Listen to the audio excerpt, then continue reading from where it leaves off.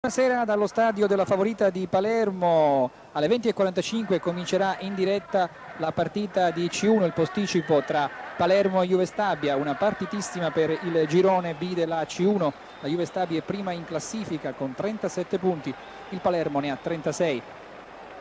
8.000-9.000 i spettatori presenti, c'è tanto freddo alla favorita, 3 gradi fino a questo momento e fino alle 18 la partita è stata in forze, ha nevicato ed è una cosa storica da, eh, a Palermo, Palermo, mentre in curva sud sono arrivati stoicamente da Castellammare di Stabia 200 tifosi della Juve Stabia. È una partitissima, è certamente una partita di grande interesse. Intanto a centrocampo si sta svolgendo la festa delle scuole calcio, della una formazione che sta andando abbastanza bene e che nel fine settimana al Pala Euro di Roma giocherà le Final Four di Coppa Italia. Inquadrati i tifosi della Juve Stabia arrivati da pochissimo e questi sono fanno festa e ballano i tifosi della Juve Stabia in tempesta.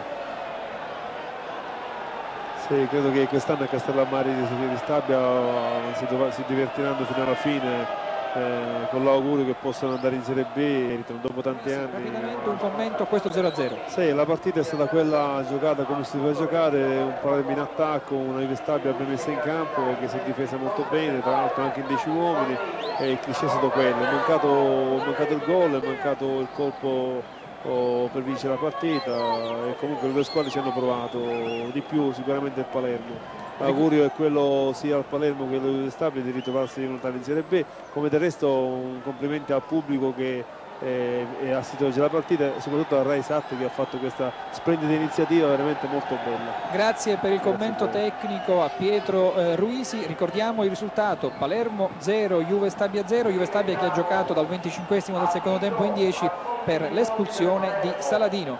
Dallo stadio della favorita di Palermo è tutto. Linea a Roma